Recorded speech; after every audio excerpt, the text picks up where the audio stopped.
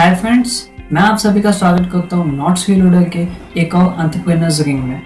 सो so, आगे बढ़ने से पहले डिसाइड कर लो कि आप हिंदी में कंफर्टेबल हो या इंग्लिश में कंफर्टेबल हो। अगर आपको लगता है कि इंग्लिश चाहिए तो लेटेस्ट वीडियो में इंग्लिश कॉपी भी डाली हुई है।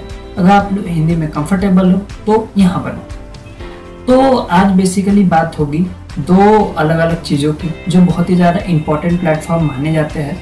एक इन्वेस्टमेंट टाइप में यानी कि शेयर मार्केट में। सो so, दो चीज़ें आती है वो आती है कम्युनिटी और इक्विटी अब पहले जानते हैं कि ये क्या है। तो सबसे पहले ये स्टॉक मार्केट के बहुत ही ज़्यादा डिमांडिंग चीज़ है दोनों।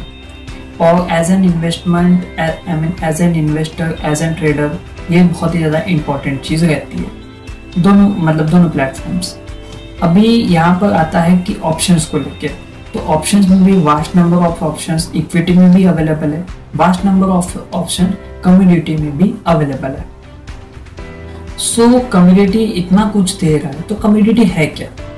कम्युनिटी एक टाइप का ऐसा प्लेटफॉर्म है जो बेसिक चीज़ों के लिए डील के लिए बनाया गया है. ये और इस टाइप की बेसिक चीज़ें जिनको और डिफ्रेंशिएट या और एक्सचेंज नहीं किया जाता. जैसे कि शुगर कॉपर गोल्ड टीम ये सब टाइप की चीज़ें। अब आप सोच रहे होंगे इन सब चीज़ इन सब चीज़ों का भी व्यापार होता है क्या?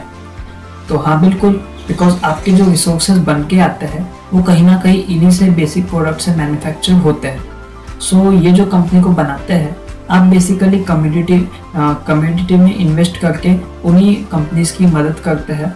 उन कंपनी को फ़ायदा हुआ तो कम्युनिटी में फ़ायदा। उन कंपनी को नुकसान हुआ तो आपका भी नुकसान। अब बात आती है इक्विटी में। इक्विटी में उस टाइप की कंपनीज़ आती है जो इन प्रोडक्ट्स को लेगी अपने उनके तरफ़ से और इन प्रोडक्ट का कुछ और चीज़ें बना के बेचेगी। जैसे कि बहुत ही ज़्यादा एडवांस टाइप के डिवाइसेस हो गए डिजिटल इलेक्ट्रॉनिक्स इलेक्ट्रॉनिक्स हो गया होम यूजेज के लिए हो गया और इस टाइप की चीज़ें इक्विटी में गिनी जाएगी। मतलब इस टाइप की कंपनी इस टाइप की चीज़ें रखती है। अब बात आती है इक्विटी में डील कैसे आती है। सो so, बहुत सारी मेजर कंपनीज़ अपनी खुद की करेंसीज पे काम करती है। जहाँ पे आप उनके करेंसीज में इक्विटी के थ्रू इन्वेस्ट कर देते हैं। बेसिकली शेयर मार्केट हाँ शेयर मार्केट जैसे तो वहाँ पे, पे उनकी करेंसी में इन्वेस्ट करो उनको फ़ायदा हुआ आपको फ़ायदा उनको नुकसान हुआ आपको नुकसान।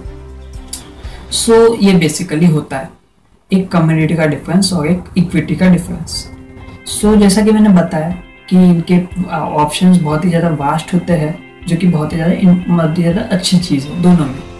फिर उसके बाद में में बात करते हैं तो है कि इनमें किस टाइप के इन्वेस्टर आप करना चाहते हैं। तो अगर आप एक शॉर्ट टर्म इन्वेस्टर है और चाहते हैं कि आपको क्विक रिफंड मिले आपको मार्केट से कोई लेना देना नहीं है आपको बस थोड़ा बहुत क्विक रिफंड चाहिए तो कम्युनिटी बेस्ड रहती है बिकॉज़ वहाँ पे धीरे धीरे प्राइस बढ़ जाता है। सो so, इस टाइप से ये क्विक रिफंड के तौर पे माना जा सकता है। इक्विटी में कहीं ना कहीं लॉन्ग टर्म मेंबरशिप प्लस एक मतलब ट्रस्ट ट्रस्ट वगैरह के ऊपर थोड़ा सा लॉन्ग टर्म मेंबरशिप पे फोकस किया जाता है। तो यहाँ पे long term but definite profit देखा जाता है। बिकॉज़ प्राइस एक्सचेंज कम्युनिटी में कम्युनिटी में बहुत जल्दी जल्दी आता है। सो so इसके चांसेस कम बन जाते हैं कि प्रॉफिट धड़ल्ले से हो सकता है, नुकसान भी धड़ल्ले से हो सकता है। दोनों चीज़ें मैंने करती है फिर उसके बाद में आते हैं कम्युनिटी के टिप्स तो यहाँ पे फ्यूचर एंड फॉरवर्ड को लेकर चीज़ें देखी जाती है। यहाँ पे, पे इस टाइप की चीज़ें देखी जाती है। वहीं अगर आप देखेंगे इक्विटी में तो वहाँ पे शेयर एक्सचेंज और शेयर होल्डर को प्रायोरिटी टाइप पे रखा जाता है। फिर उसके बाद में वही चीज़ एक आखिरी में गिना दूँ जो कि इम्पोर्टेंट है। प्राइस एक्सचेंज का जैसे मैंने बताया कम्युनिटी शॉर्ट पीरियड टाइम के लिए equity long period of time के लिए। अब बात आती है आपको इन्वेस्टमेंट किसमें करनी चाहिए। तो मैं कहता हूँ दोनों में करो। बिकॉज़ दोनों में करोगे तभी एक रियल मार्केट का आइडिया आएगा आपको।